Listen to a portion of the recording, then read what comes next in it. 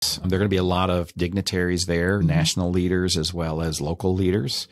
And so we've put together a community chorus basically of a variety of organizations. The State College of Florida Chamber Chorus is going to be there. Yep. Melodies Group's going to be there. Mm-hmm. Booker High School Chamber Chorus is going to be there. Alexander Zickafoos uh, yes. directs. Mm-hmm. I mean, I don't know if you've spoken with him, but he's. Oh yes, yes. He, he, we did. We did an interview with him when he was in Pippin. Yeah.